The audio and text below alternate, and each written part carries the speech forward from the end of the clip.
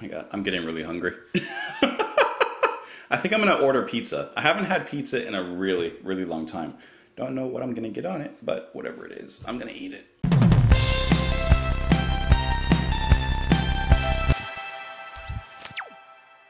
What's up guys? Welcome back to the channel. My name is Justin, and today we're listening to Roxy Music with their song Do the Strand off of their album For Your Pleasure, released in 1973. I've done a few songs from Roxy Music, but you guys have been asking me and telling me, commanding and demanding me to listen to something from their first, uh, at least two albums, specifically ones with Brian Eno on it. So I figured I would just take the first song off of this album. There's really no rhyme or reason behind it. I just chose this one. Hopefully you guys are having a beautiful day. You can join me on Twitter. You can join me in the comments down below, and let's do it. This is Do the Strand by Roxy Music. There's a new sensation, a fabulous creation,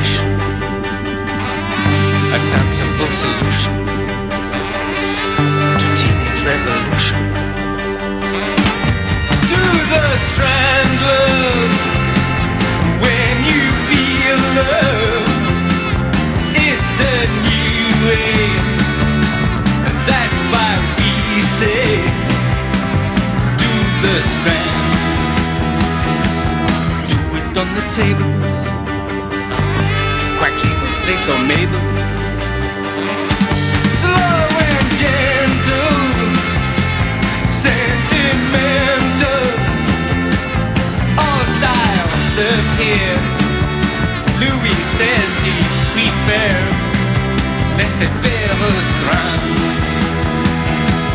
Tired of the tango, fed up with fandango.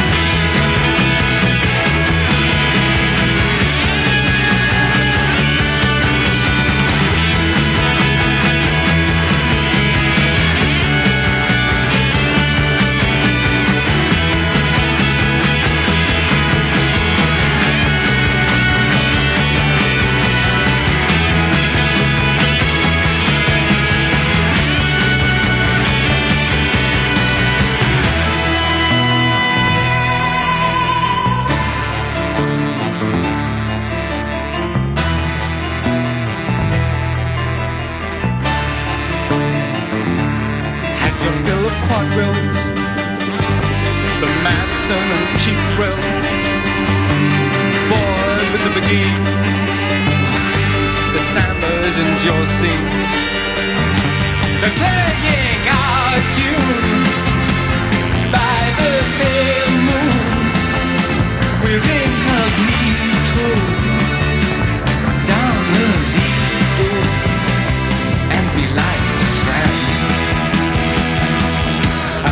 At oases, Eskimos and Chinese. If you feel blue, look through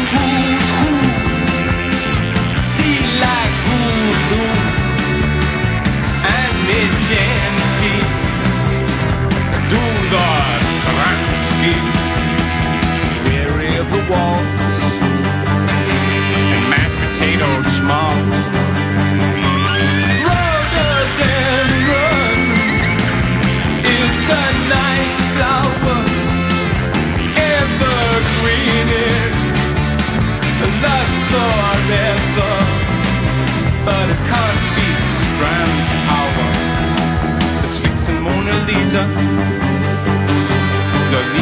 Ganika the strand. I wasn't paying attention to the time. I thought there was more coming. Not a bad song at all. Great introduction, I would imagine, to the album. It feels like a single and like it would perfectly kind of get you hyped up as to what to expect later on. I would like to listen to a little bit more because I feel like this was, as I said, a good opener. I didn't love how it felt kind of one dimensional. It pretty much kind of stayed the same pace and rhythm throughout most of the song, which is fine. Like I said, it's a nice introduction. I want to hear more of like what else they do.